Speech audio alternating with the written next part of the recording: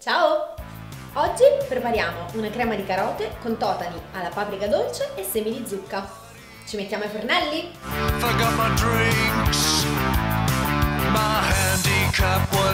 Prima mossa, preparazione e cottura delle carote. Tritate finemente la cipolla, pulite le carote e tagliatele a rondelle sottili.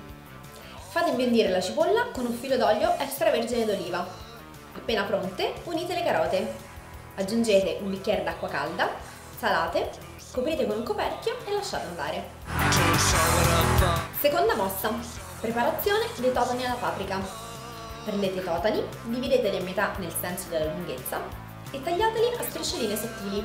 Metteteli in un recipiente e conditeli con olio extravergine d'oliva, sale, pepe nero, paprika, abbondante.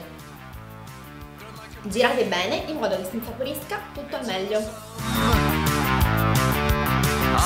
In una padella antiaderente scaldate un filo di olio extravergine d'oliva con uno spicchio d'aglio in camicia.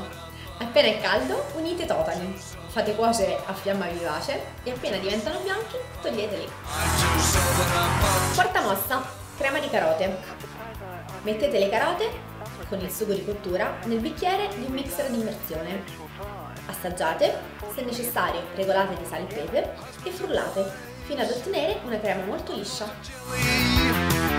Quinta mossa, impiattiamo. Mettiamo la crema di carote in una fondina uniamo i totali, decoriamo con i semi di zucca.